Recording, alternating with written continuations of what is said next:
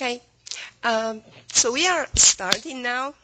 Somebody told me that we are streaming already, so Hi, people from wherever you are. It's kind of awkward. So, welcome to the um, February event of uh, ArtSci Salon, which is uh, also the second event of uh, Laser Toronto, um, uh, which is part of the Leonardo Art Science Evening Rendezvous Series in Canada. And uh, we are the first one together with Montreal. So uh, before we start, um, so the, uh, my name is Roberta Buiani, and I'm a co-curator of uh, Science Salon. And uh, you can see in the background or in the second screen, for those people who are at home, our website, artscisalon.com. If you are an artist or a scientist or a person who's interested in doing interdisciplinary work, please check it out because I am actually collecting um, profiles from uh, now Ontario-based, but then I'm, I'm expanding to Canada, um, artists and scientists who want to collaborate with each other, and uh, uh, here are some of the profiles that I collected. So you can check them out, and you can send me uh, your profile. Also, you can see the blog uh, that has all the events. And this is our event today. So our event is titled Fibers, Textures, and textiles. Uh, but before I introduce Uh, the topic, I would like uh, uh, Nina Czegledy to say something about laser. She is in the board of uh, Leonardo, and uh, she has like without her we would not have uh, uh, the the international streaming. Thank you. So- my name is Nina Czegledy, and I am, as Roberta said, on the board of Leonardo ISAST. And I observed the growth, rapid growth of laser events in the U.S. So I, uh, tongue-in-cheek, proposed that we should uh, maybe extend this to some remote country like Canada. And uh, lo and behold, they accepted it.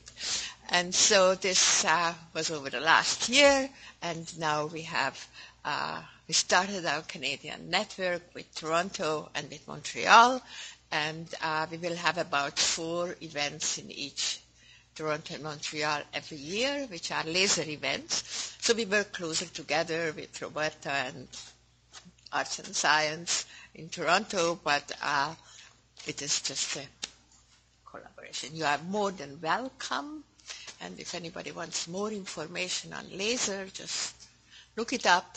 It's on the. And laser is also acknowledged on our website, and there's a link to it too. Um, so um, uh, I also have to uh, say a couple of things. So I am, uh, I said I'm the co-founder of this uh, uh, ArtSci Salon, uh, together with Stephen Morris, who won't be able to be here because he's having dinner. No, he's, he's having a, a, an official uh, conference presentation at McMaster, so he won't be able to be here. He would if, but maybe maybe he's at home, is is uh, there um, listening to us. Hi, Stephen. So, uh,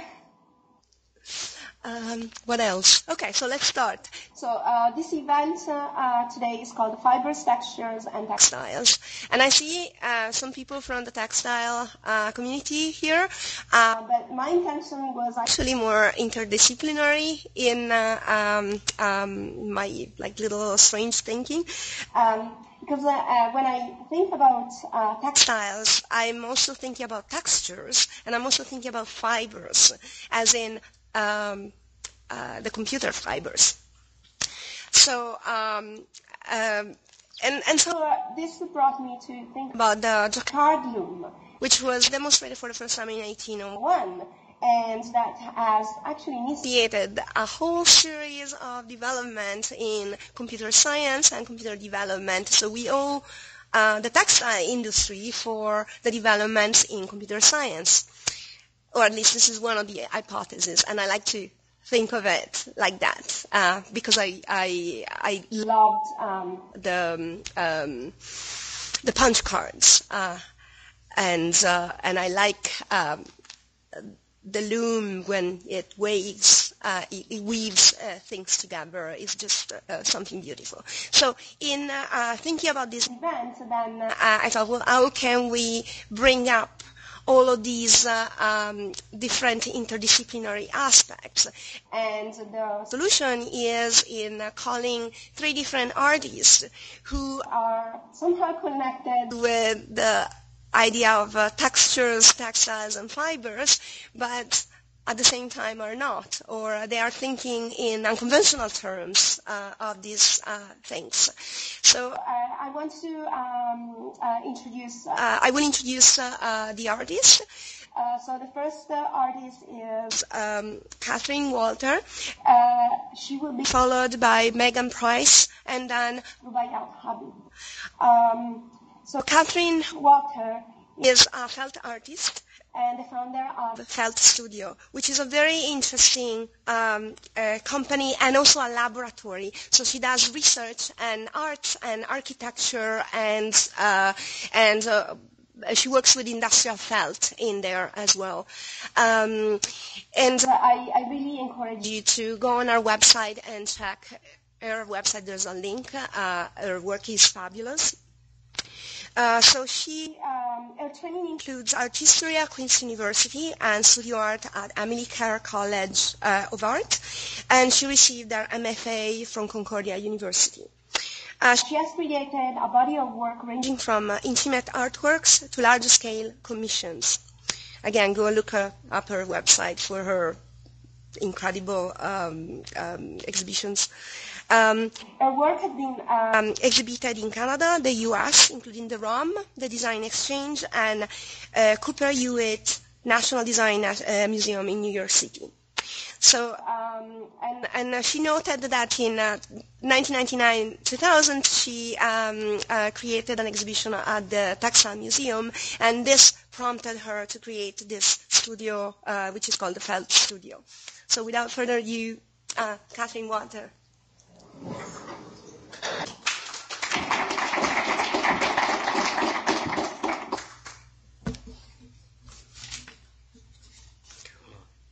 All right.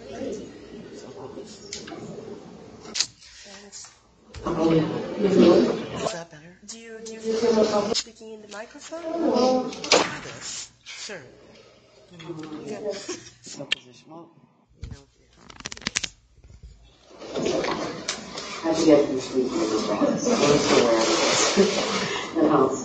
Thanks, Roberta. It's uh, um, nice to be here. It's really uh, interesting to have a this kind of interdisciplinary context, and we'll have a lot of different um, directions here, I think, and be um, interesting to see what comes out of it. But um, I'm going to um, begin and sort of talk a bit about the material, felt, and um, my work. And uh, yeah, it's been about 15 years now since I started uh, um, working with uh, felt, and before that, I worked in a range of media, but always um, I've been interested in the intersection of between visual art, um, material culture, and the built environment. And I've sort of found a way to converge all of these things with the Felt Studio, which um, I started um, actually. I, started this um, idea of felt actually as a company, but also as a label and as a studio. And I consider it as a laboratory, as Roberta was saying, um, because I think I like the idea of the um, of a company being um, about exploration, not not always about you know product, business, or bottom line. So um, I'm going to show you some projects, but I did actually bring some felt um, that I thought I'd pass around. Roberta encouraged props, so I. so this is industrial. Do you want to pass those out? Let me just pass them. So these are industrial felt piece um, samples, and um, uh, they are um, a range. You can see there's a range of thicknesses and densities, and uh, um, you know, I was actually wanted to uh, talk about the material itself because it is quite unique in the world of textiles. Um, actually, when I was thinking, uh, talking to Roberta um, uh, early on, I sort of thought, um, you know, in math and the Fields Institute, the context we're in, and uh, in some ways, in a very rudimentary sort of math way, it's I think um, felt somehow defies mathematics because it is um, lacking order, no pattern or formula. You can see this is a microscopic uh, um, detail of felt, and it is um, really just pressed fiber. So it isn't. Um, in fact, I've heard it um, talked about as sort of an outcast from the field of textiles in the sense that it's not built on the warp and the weft, and it's um, uh, not a series of knots like knits. So it's not. It's it's not like the loom. In fact, it's argued to be predate the to be sort of the first man-made textile because it does predate the loom in its making, and it's got it's quite rich in um, in its history. It's mythologies about how it was made, and um, it's basically wool. You can see the um, fiber on the right is a wool fiber, and it's made with barbs. And if there's textile people in here, you may this may be um, you may well know all of this, but I thought, I, you know, given the the situation, a lot of interdisciplinarity that I sort of run through kind of how it's made. So it the the barbs on each fiber um, under when they're subject to heat and agitation, um, they open and then close upon one another and, and create that felted mass. And yes, so it's sort of mythic in its um, kind of history. There's argues arguments that like she was founded by shepherds who um, took uh, fleece from the sheep and put it in their sandals, and after walking miles, made felt. so it's a, that basic process. Um, so historically, it's probably best um, oh, they're um, known in uh, parts of Asia, in Mongolia. Um, maybe people are familiar with the yurt. This is a Mongolian yurt. So these are felt houses are also made in Turkey and parts of Afghanistan. They're also called known as ger, gers, G-E-R-S. Um, felt rugs. This is one from Afghanistan and camel um, saddle blanket. Um, and shepherd's coats too. This is what's interesting about felt. It's like hats. It can be also made in one form. So you have a, um, uh, you can make the felt around a shape. So it's felted around a, like a hat. It's blocked, and in this case, it's actually in the round. So starting with um, sheep, the, the, the tones of gray that you get are all uh, very they all vary. So each batch, that's the thing about the, the no pattern, no code, is that each batch is different, and, and tone wise as well. It's all a mix of either white or black sheep and a mix of gray and brown. So the results are what you see, that kind of a range. And um, um, what happens the once the, the sheep are sheared, and the um, fibers are collected and, and picked and blended and um, in this case all by hand, and then and prepared for carding, and then laid out um, on in, the desired form. In this case, on a sort of a reed um, screen. Sometimes it's like a mother felt that's laid out, so that it can then be rolled up and is literally beaten. And and fold is actually the term that's used, and it's in this case in the um, this, cultural practice really is um, it is kicked around and and in some cases then it's unrolled again. In this case with a pat when you've got especially these patterns it's unrolled and then sometimes another layer is added on. It thickens it and it's literally a combination of sort of uh, increasing uh, fibers to gain thickness and density.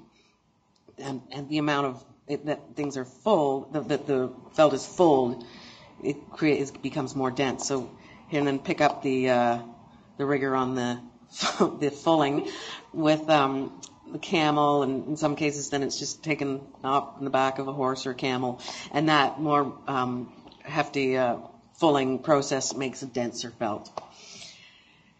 So I like to show this is because it's kind of fun. That the, felt has become quite a cottage industry. You see a lot more. It's very popular. It's a big, huge craft. Um, development. Um, lots of felt out there you see handmade, and there's many ways to make it, and it's kind of from the kitchen sink to uh, you know carting it behind your bicycle.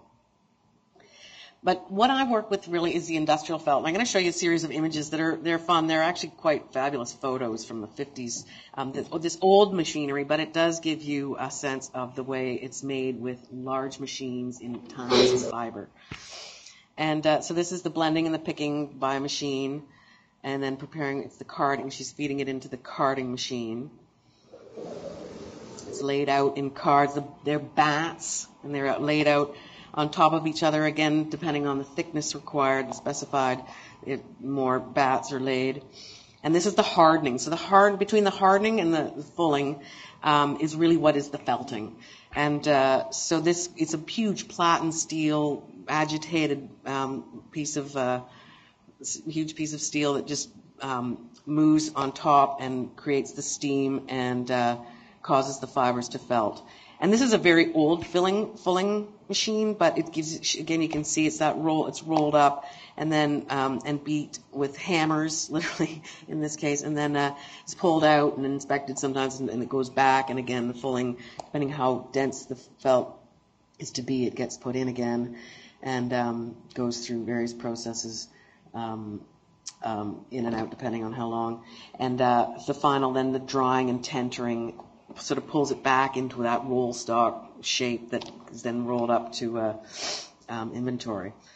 Well, inspect and then inventory.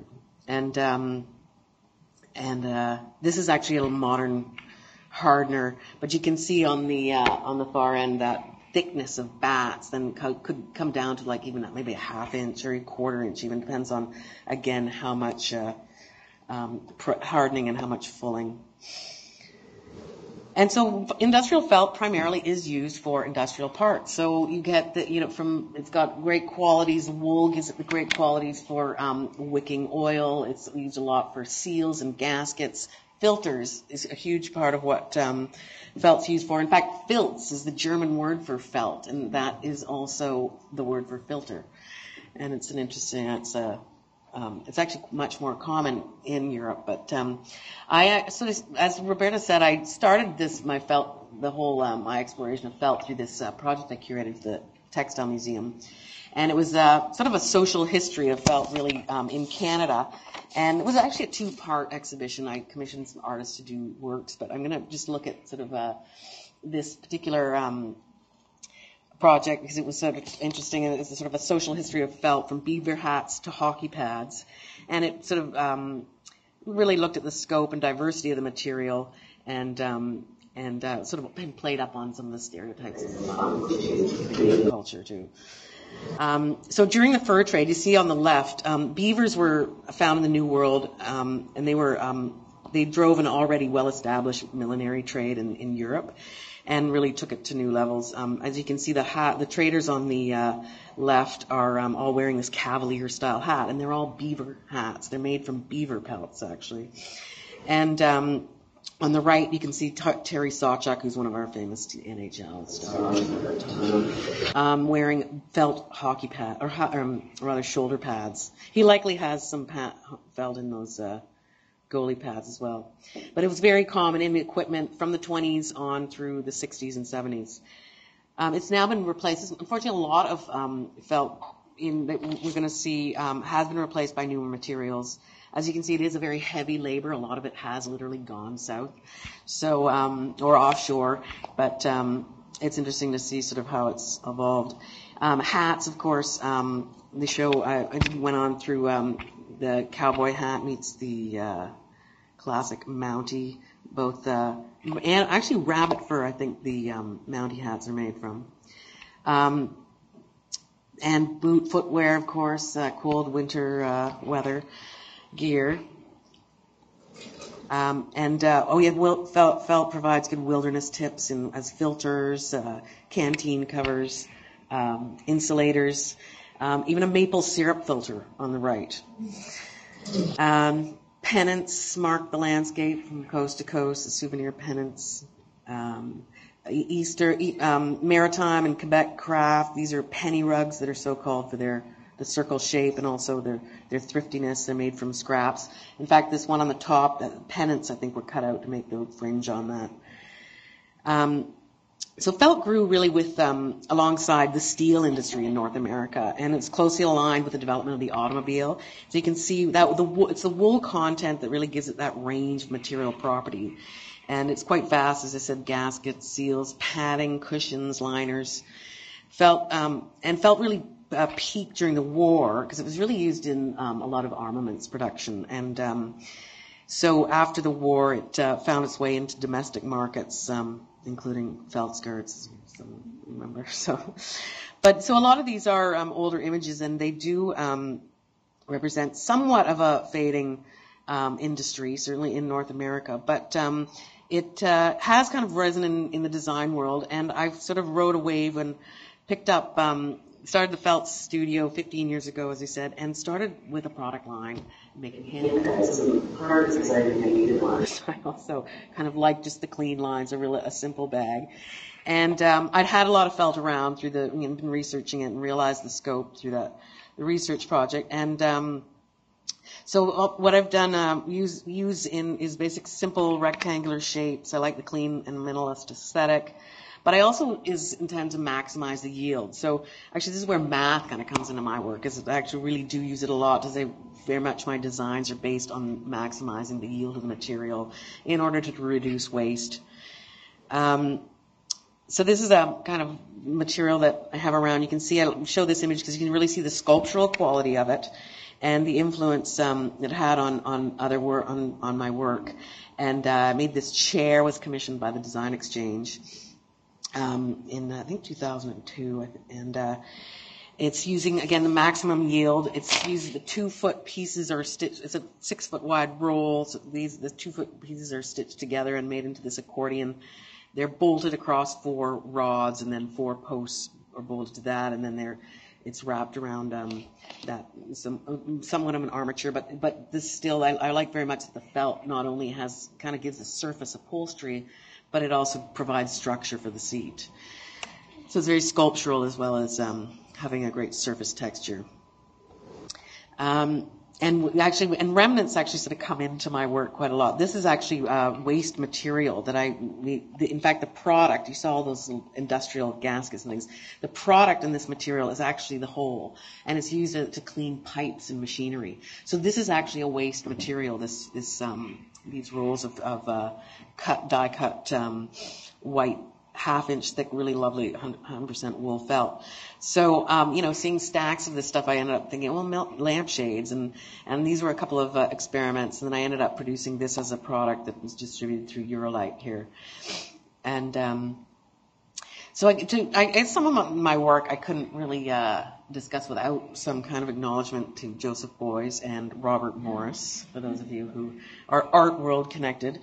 Um, the it's yeah many of you would most likely know um, that uh, is certainly known for his work with felt through his personal mythology that he developed and performed even, and Robert Morris for minimalist sculptures, um, and uh, yeah, I, I actually I'm going to show a couple of projects that sort of do make, make reference to theirs.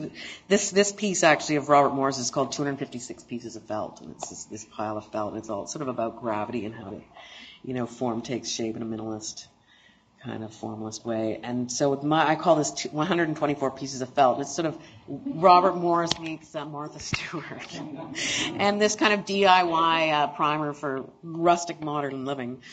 And uh, and so I've made all these products, ex- kind of exploiting the material properties of felt. Um, in a kind of fun, I, I like to think it's sort of a playful, hopefully sort of humorous way, and um, sort of replicating almost the Lee Valley kind of catalog that um, shows each piece. And each each item is actually made from one square, either a square or rectangular piece of felt. So I'm again very interested in the sculptural aspects, the fact that just a, full, a pinch or a fold can make a, a, a three-dimensional functional item. Um, so this, and then I this did this for a come up to my room, the alternative uh, design show uh, that um, was put on during Design Week in Toronto. I took this to sort of the fashion um, world through this project called Shelter, and um, again using the properties of felt, all these clothing items double as survival gear. So once again, playing up on these physical, the, the felt resists flames, yet resists. Uh, I think I say it here. Resists. Um, yes, I ready to wear. Um, uh, line that's resists, frame, re- resists flames, resists chemicals, insulates against heat and cold. It's a padding, it's a shield, it's a shelter. And then, um, and so you can, I've displayed it down at Harborfront in the project window, and then I've kind of used the pattern. Again, each item is a square or rectangle, and I sort of use the sewing pattern format to show that the hat doubles as a filter, and the uh, um, dress can be made from just the one piece. The skirt doubles as a, a floor mat. The cape can be a tent. and the pack and, and even footwear. So I made a whole um, it's a uniform outfit with uh, the felt. So I'm just going to go through a few um, architectural projects. I started kind of working with um, architects in a consultation way. It was a big learning curve for me because I was approached by, in this case, it was um, Bruce Mau at the signage contract for the Walt Disney Concert Hall and this Frank Gehry's uh, building down there. Uh, uh, in Los Angeles. They did the donor wall at a felt. So I did prototype development for for them, and it was it's produced in um, uh, um, in LA. But uh, you can see the um, uh, the cutting, the, the, great quality of felt is can be cut out. And so through CAD CAM, you know, possibilities you can cut out. This is, um, I actually cut on a water jet machine, these tiles. Um, and uh, then we did this for the Native Child Family Services here in Toronto with Levitt Goodman Architects. And I uh, worked with Bev Koski and um, seventh generation image makers to do this. Um, and it's a relief, and that we take the other side and put it on the uh, the back side, and it's a moving wall. Um, again, cut out just simple squares. This um, was uh, done for Charles Street Video, an, an, editing suite that needed some acoustic um, enhancement. So um, it's kind of pulled the the traditional kind of cone wave-like shapes of other acoustic materials and and uh, revamped the or cut the felt to sort of mimic that, but um, you know, give kind of an interesting optical effect to it, so it, it absorbs sound, but also and it looks good. um, and uh, a couple of others. So here's a detail you can see. It's just layered um, squares. This is a woven um, uh, head hanging wall hanging that's um, I did with uh, Yabu Pushelberg of a model suite in um, a hotel in Seattle. Here's a detail. Um, and this is a, Glad, suite at the Gladstone Hotel. Some of you may know the Gladstone, of course, the artist design rooms, and I did the wall, and you recognize the lamps here. Um, then a further sort of modeling with the felt. Again, I, I um, have taken uh, that stitch pinch and just again the square to these friezes, more decorative. I did this for the Cooper Hewitt exhibition about felt, and it was actually a site responsive piece. I did this um, along the molding and sort of took some of the flora and fauna uh, motifs of the Georgian mansion that houses the museum, and did this along um, some of the uh, chair the chair rails. And uh, it is again uses one each of these units the, um, uses one square foot of felt, and there's a strip and two squares, and it's uh, again sort of uses the maximum yield. I'm going to just show you a few a sequence of a, a um, treatment, for lack of a better word, a kind of a way that I've used strips of felt to create walls, starting here with the, it was developed first with this B-Space, an architecture firm in New York, as a screening room doors. They wanted to get that um, layered look, um, like stacked felt to build the, on the door. And um, it was, uh, yeah, we you I tend to use up roll ends where I can, and they're just stripped. The strips are cut and then stacked, and it's sort of where felt begs to be used to kind of show off different thicknesses and tones. And you can see it done in different ways. So I kind of um, I like doing, you know, building the, these panels to fit sites so you get the built-in effect. This is the uh, Hotel Germain in Calgary. This is actually Mill Street down in the distillery district, the bistro down there. I think they call it a beer hall. Actually, it's their new, fairly new restaurant. A couple of years, I think a year and a half or so. Um, and then this is sort of maxed out with um, uh, this uh, theater at the Museum of Tolerance through with Yazdani Studio um, of Cannon Design. They saw the sample of the, the striation series that I've done, and uh, they had this curved wall and said, "Can you do it for this situation?" And so we um, did. I did panels and involved a couple of site visits, but um, it was probably you know one of the biggest projects I've done.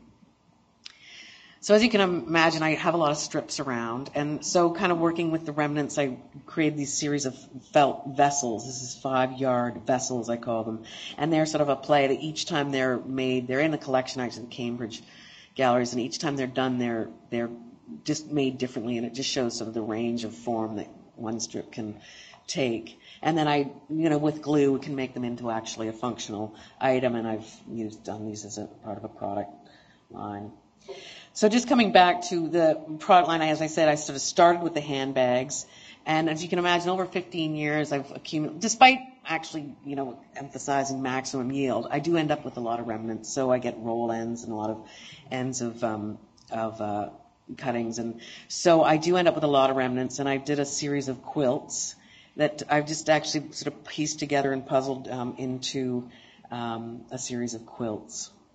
So I like very much, again, it's sort of using all of um, the uh, aspects of the production, using as much as I can of the material.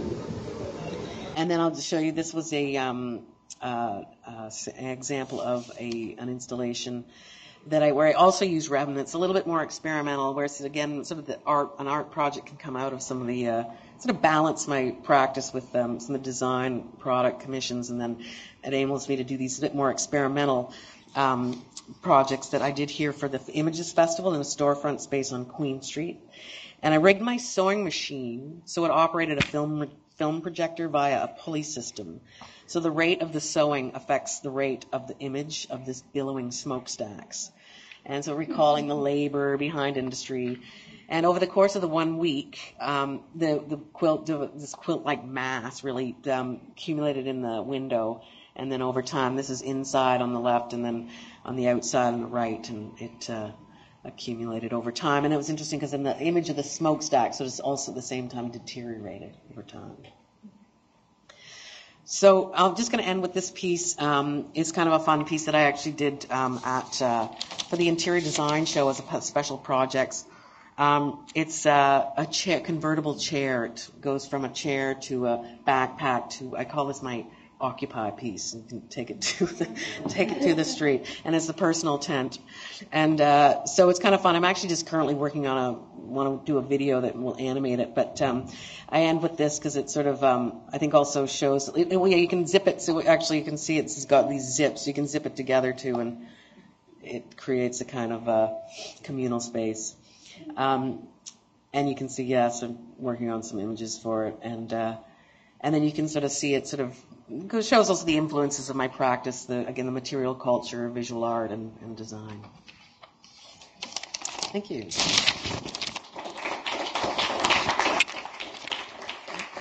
is meant. Yes. Don't get it wet.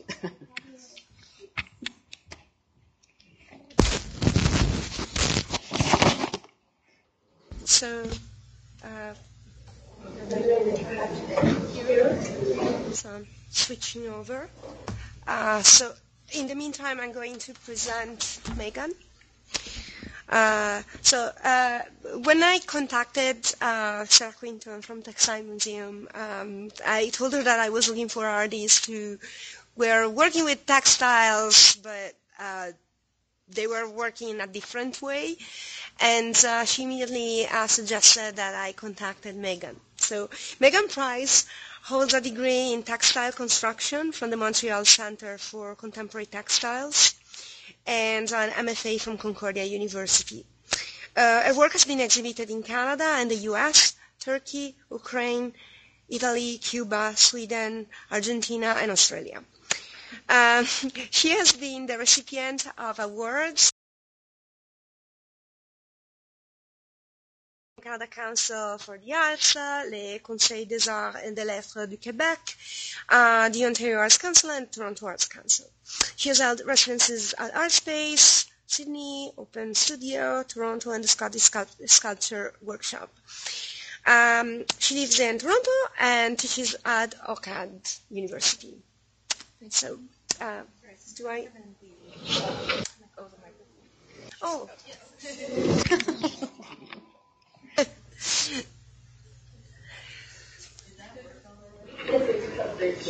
That's great. Okay, so I'm gonna.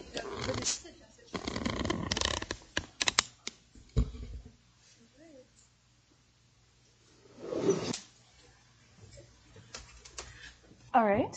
Um, I don't know if I've spoken to a crowd like this before, and I have to say that I'm feeling a little bit intimidated by the, the science here um, because I've, I've, recently started calling myself a deep dabbler when it comes to science.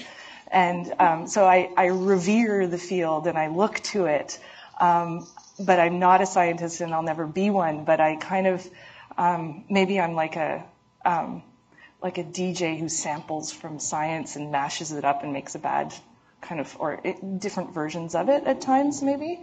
Um, but anyway, so this piece up here, for example, is is called string theory, and it's a jacquard weaving. Um, and uh, so Roberta spoke a little bit about jacquard weaving, and it is, um, um, I think, the textile world is proud to say that it's the predecessor to the computer, the jacquard loom, and so you know there was the analytical uh, machine, analytical engine that was developed prior to the jacquard loom and punch cards. And um, so basically, weaving is the binary code on or off, up or down, and uh, punch cards. Uh, that language is the digital language, the zeros and ones, right? Um, so get back to the beginning. Um, this nice quote from Roman Signer, who's a, a an art, visual artist. Um, the idea of thinking with material um, for me, this, this strikes a chord, so to speak. Um, the idea that material and process is a language of communication, um, and that making, like writing, is a, a, way of thinking. It's a, it's an, an, act of thinking when you're, when I'm making, anyhow. Um, and so I always feel when I'm describing my work, my visual art, in words that I'm misrepresenting it because my first means of communication is with material and and visually and materially um, constructing ideas rather than expressing them in words. But I'll go through um, my practice and um, the ideas that influence it. So my background is in weaving, so this is a traditional floor loom. Um, and my primary material is a linear pliable element. So um, that's often referred to as yarn, but I prefer to use things like monofilament and wire typically. Um, so my education is in, um, I have a, a, a degree in textile construction, so specifically in creating textiles from the linear pliable element and um, building textiles rather than um, surface treating textiles. So those are the kind of two major families in the world of textiles, construction and surface, and I'm from the world of construction. So I was trained in, in weaving um, and the, the, woven language and that kind of uh, code of, of um, developing textiles um, uh, in, and, and very um, at, at, a school at the Montreal Center for Contemporary Textiles, which is a hardcore craft. You know, um, it's it's all about skill and learning how things are done correctly. Um, so I, I, came I came out of that with a real real knowledge of how to properly weave, um, and then of course you know work very creatively within those parameters. There's another graduate from the um, program in the room, um, so look forward to talking. Um, and then I went on and did a Master's of Fine Arts at Concordia, and um, and worlds collided, and there was culture clash, and uh, it was lost and found. Um, and so now my career is centered in textiles. I work as a designer, as an artist, and as a teacher. Um, and so I'll talk about my design practice, and then I'll follow that with my my artistic art practice. Um, so as a designer, I create um, jacquard woven textiles uh, for a business called String Theory. Um, so here is a, a, smattering of the collection from string theory. So as I'm sure everyone in the room knows, string theory is a theory in physics that says the world is essentially composed of vibrating strings. That's my that's my um, elevator speech for string theory. Um, and uh, and then we, whoops, I think we're on some timer here now. Suddenly, oh. Um, anyhow, so we borrowed the name, and we knit and weave scarves and shawls. Um, and so I have a partner, Lisanne Latulippe, and she knits, and I uh, design the wovens. So here is a computer-assisted jacquard loom weaving five scarves across the width of the warp. Um, and on the right, you see woven structure. So it's the XY axis, uh, the vertical is the warp, and uh, the horizontal is the weft. Oh, does anyone know how to turn this timer off really elegantly? Um, so woven structure is the binary system, as I was mentioning. Uh, a thread either goes over another or under another. So uh, with a jacquard loom, um, uh, the system is either raising threads in the warp or not raising threads in the warp, and um, and uh, and and and it's as simple as that. Um, this is a uh, automated knitting machine, computer-assisted knitting machine. Um, so there's a shawl being knit there. Uh, the structure of a knit is uh, the result of one single thread being continuously looped onto itself. Um, and so by nature, um, a knit is stretchy. Um, with knitting and weaving, with textile construction, uh, structure is surface. So a lot like um, the felt work that we were looking at earlier, this idea that structure is surface in that chair, I love this idea. Um, that pattern is not added to the surface, but is embedded in the very making of the fabric. Um, so the fabric is, or the pattern is helping to tell the story of the construction of that cloth. Um, and so with string theory, bouncing around here, um, uh, we are looking at pattern in the world and uh, specifically specifically pattern as evidence of occurrences. So um, the, that gum on the, the, sidewalk there would be evidence of uh, you know there might be an office there. Uh, people are going out on the sidewalk to smoke and spitting out their gum, or there's a story there that's built up uh, with pattern. Um, and like I said, the pattern of woven structure can actually recount the act of weaving. Um, so patterns observed elsewhere tell other stories, and we interpret those into uh, textiles for cloth. Um, so the story of frost is um, uh, that the size of crystals depends on the amount of time that they've been building up, um, the temperature, the amount of vapor available, and maybe how well insulated your windows are. Um, and so this was a photograph of frost on a studio window that got interpreted into this uh, shawl. Um, so the crystals became pixels through digital photography, and then uh, using a CAD program, those pixels are interpreted and communicated to the uh, we, uh, knitting machine um, as stitches. So you could think of the crystals are now stitches in that design. Um, and here is Montreal's Habitat 67. Lizanne and I are both Montrealers. And um, so this was, you know, um, on in, in, in, part of our culture as children growing up. This, this is Moishe Safdie's Habitat 67. Um, and it is another occurrence of structure being surface. There is no superfluous cladding on this building. Um, it is what you see, what is what you get. Um, it's a pattern of blocks that are stacked.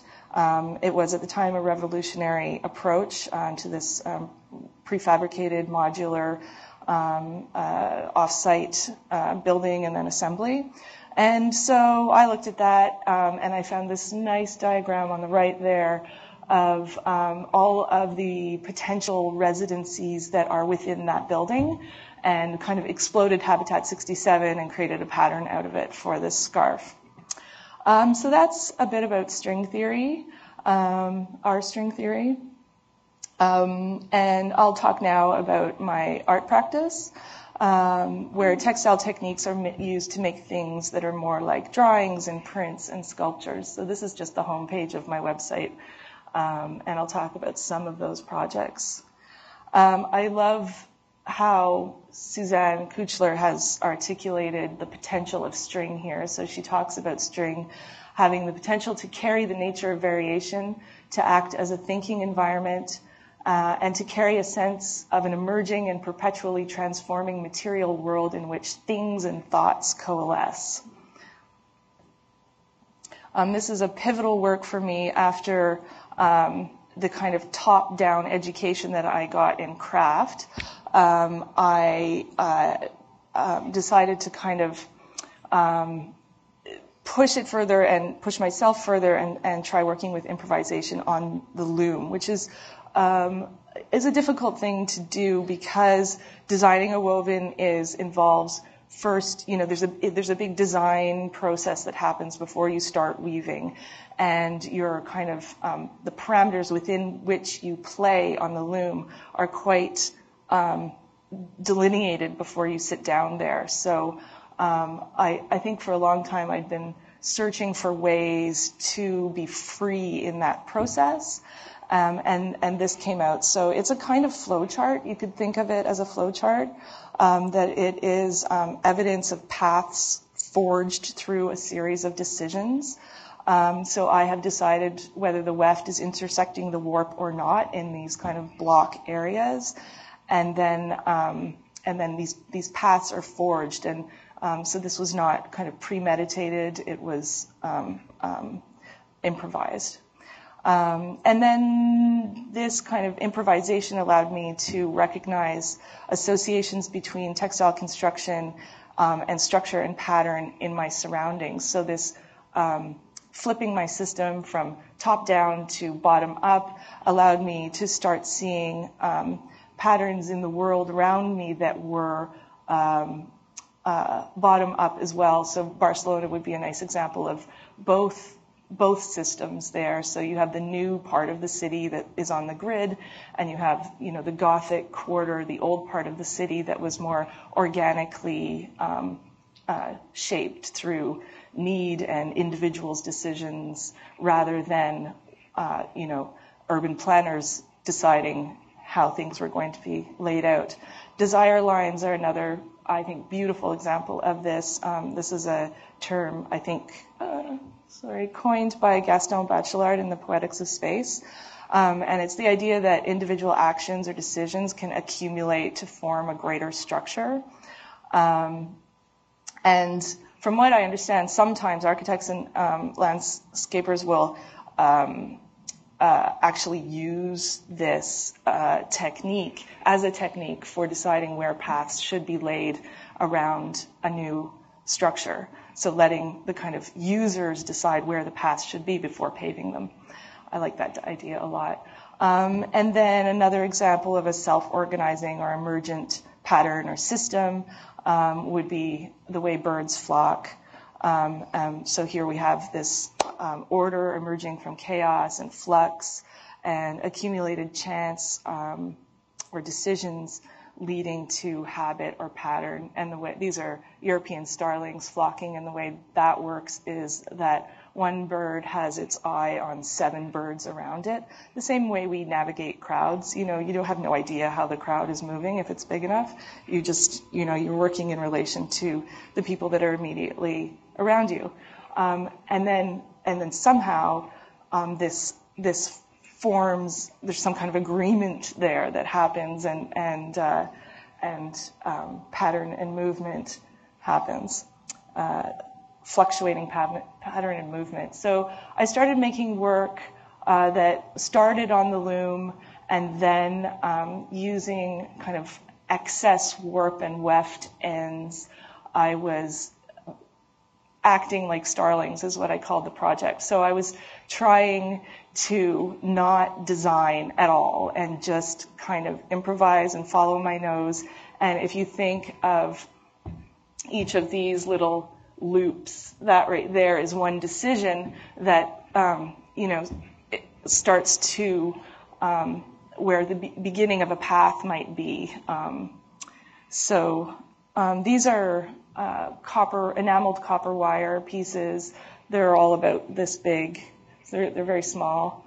Um, and sometimes I, I pin them up uh, in relation to each other. I think of them as parts of a whole. It's, it's somehow a, kind of constantly changing modular system. Um, this is another example.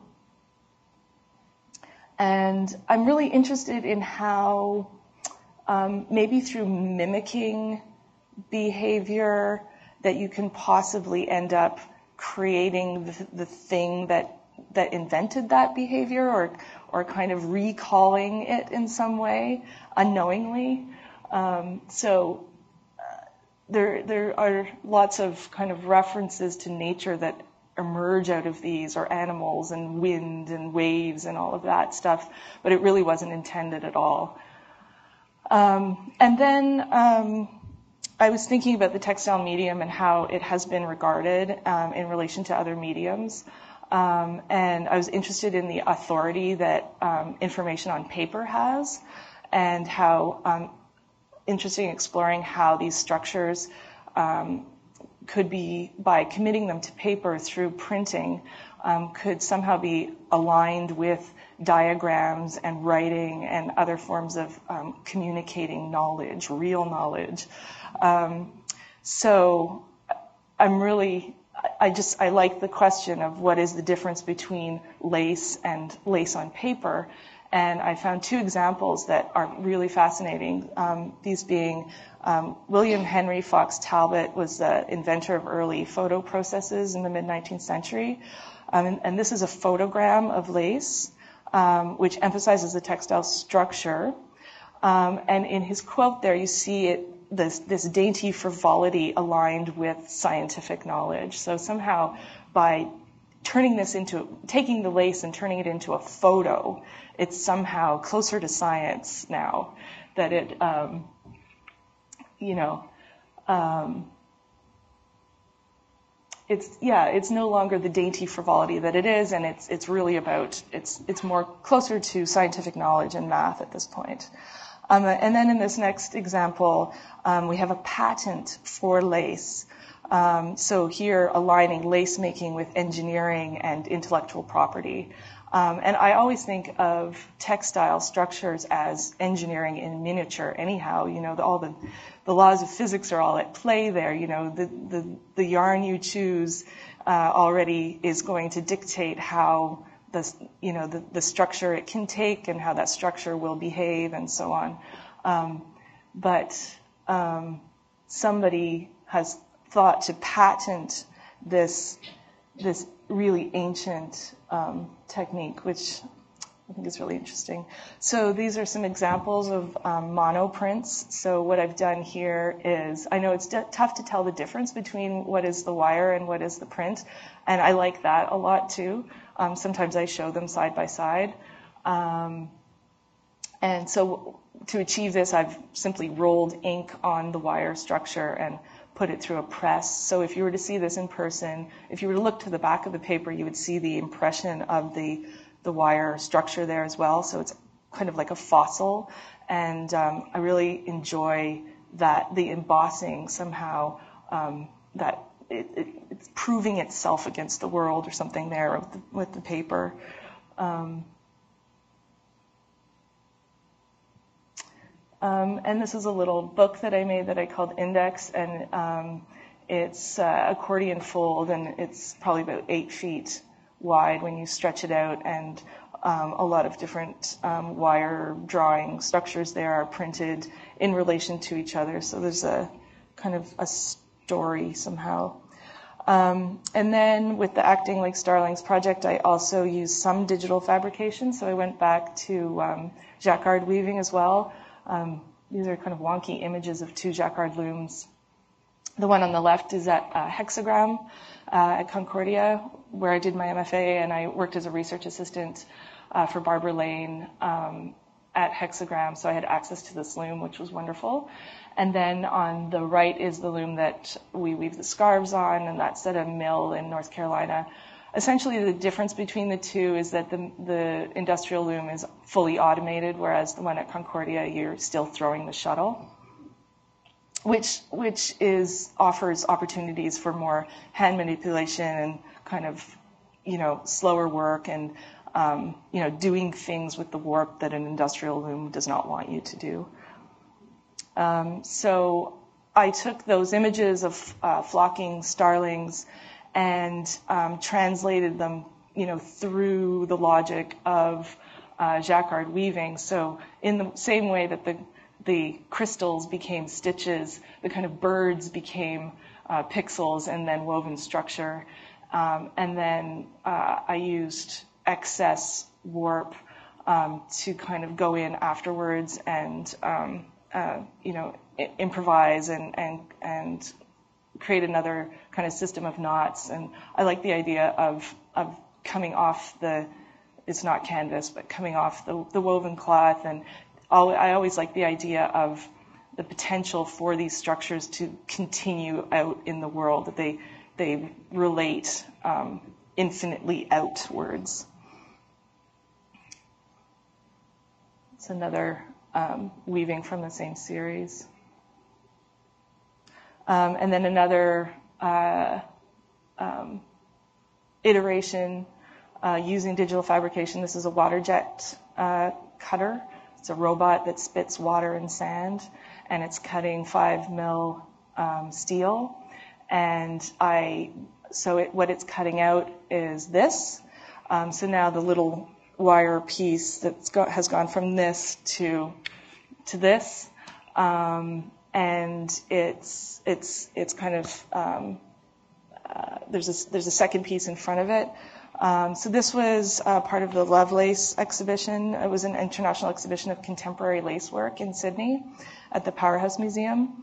Um, and so this is a side view of it from a different day, a different different setting. Um, uh, so there are kind of two panels that are um, connected together, and it essentially can flat pack, which is nice. You can kind of knock those hinges out, and the whole thing um, is flat.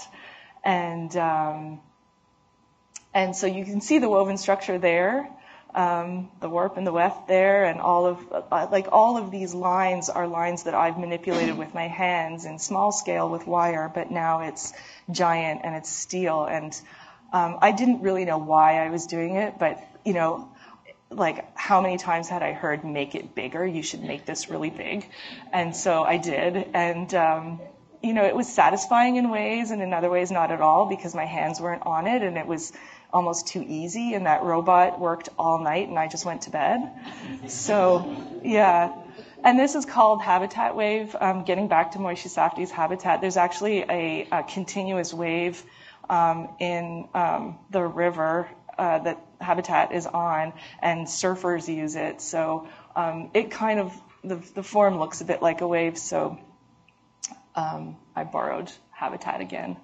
Um, this is a more recent project um, where I borrowed um, graphs from this book called Design Data for Aeronautics and Astronautics that was produced in 1962. So from patterns of birds in flight, I've gone to patterns uh, about data about humans wanting to be in flight. Um, and so I made wire drawings in relation to these uh, graphs um, and kind of extending the idea of poet- poetically translating data through textile structures. Um, sorry. Um, and using what uh, Küchler identified as string's potential to carry a sense of an emerging and perpetually transforming material world in which things and thoughts coalesce. I just love that. Um, and and also um, full disclosure to kind of make in a state of wonder or unknowing. As I said earlier, I am a deep dabbler. I'm not, um, you know, a physicist, and um, you know, these ideas kind of capture the imagination, and I want to stick with them and um, kind of spend some time with them. And it's through making, um, in this case, in relation um, to this information that um, that I do that. So here's a little process image. Um, so to control the wire as I'm working, there are pins being stuck in a foam board that sits under the image. And as you can see, there are pinpricks building up on that image. So the end work, um, which is very tough to see there on the right hand side because it's deep, deep, dark, dark blue. Um, so what you see on the left is a wire drawing, the wire drawing that was made on top of the um, of the of oh that's nice. Um, and then on the right is a silk screen. So there are um, two two passes two two layers to this print. Um, there's the blue where the holes uh, what you're seeing is the paper. Um, the paper that's under the blue is you're seeing um, what I think of as a kind of constellation in the end, and then the graph itself is there in a in a more of a gel. It's not a color. It's it's more just kind of catching light. So really tough to photograph. Um, and then this is a second version. And I used um, the titles of the diagrams as the titles for the work. So this is geopotential, and the previous one was neg- neglecting drag. Um, and then finally, I'll just talk about new work um, that I'm, I'm developing right now um, in relation to geology. Um, so I'm working with patterns that are found in geology, um, both in the natural world and as represented in geological mapping. So um, what you see on the left there is uh, stratigraphy. Um, which is uh, the study of rock layering and um, how rock layering basically communicates the history of the world. Um, and uh, so the uh, U.S. Geological Survey has kind of standard patterns that they use to stand in for different types of rock, like limestone and um, uh, metamorphic rock and igneous, and there's some conglomerate in there. The the brick pattern is actually stands in for uh, limestone, and so I'm kind of remaking um, a map uh, much like this, a diagram much like this. Um, as my way of kind of bridging my time with deep time, um, kind of you know, materializing this thing. Um, so I'm making a stack of 38 quilts um, and kind of recreating one of these columns. And um, in doing so, kind of aligning um, stratigraphy with uh, the linen closet. And um, in the linen closet, I see that our own kind of personal history is there. Um, if I think about, you know, my Auntie Cheryl's linen closet, there is, you know, um, somebody crocheted this and somebody else quilted that and you know these towels my mother gave to me and so on. So there's i'm you know attempting to bridge deep time and and my time um, with this project. And finally um, this project will be um, part of this exhibition that's opening on friday at the craft ontario gallery um, it's called Sensori- sensorial objects and it's the work by uh, faculty from OCAD U, uh, Fiber Studios. So there's a list of participating artists there. Um, Lynn Heller is here. And, um, and then in June, I have a solo exhibition coming up at Katzman Contemporary. So um, thanks for listening.